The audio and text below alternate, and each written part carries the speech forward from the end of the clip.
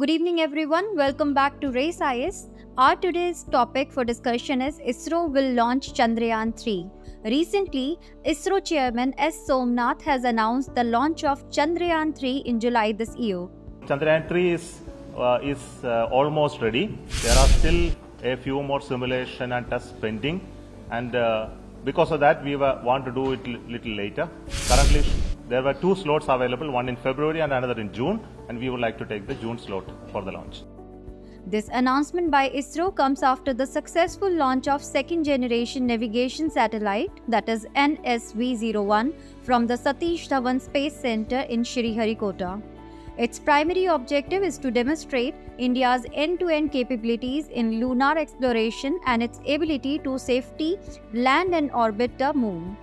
An indigenously lander module, a propulsion module and a rover will be included in this Chandrayaan mission.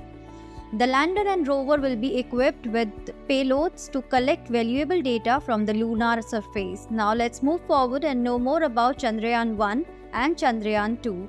Chandrayaan 1 was launched by ISRO in October 2008 and the mission lasted till August 2009. The objective of this mission was to make a detailed map of the moon's surface and study its composition. Both Indian and the international level scientific payloads were included in this spacecraft. Chandrayaan 1 had made several important discoveries apart from the evidence of water molecules on the surface of the moon. Chandrayaan 2 was launched from the Satish Dhawan Space Center on July 22, 2019. This was India's second lunar exploration mission developed by ISRO. It consisted of Lunar Orbiter, Vikram Lander, and Pragyan rover components. The scientific objective of this mission is to study the composition of the lunar surface as well as to detect water. But unfortunately, the lander of this mission crashed due to a software glitch. Now it's time to know more about ISRO. It is the National Space Agency of India which launches rockets into space from the Satish Dhawan Space Center in Sriharikota, Andhra Pradesh. It was formed on 15 August 1969. Presently, the headquarters of this agency is in Bangalore.